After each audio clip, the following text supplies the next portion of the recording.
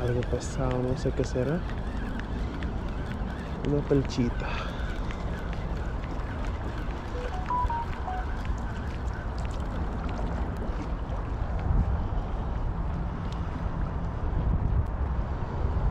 Una pelchita.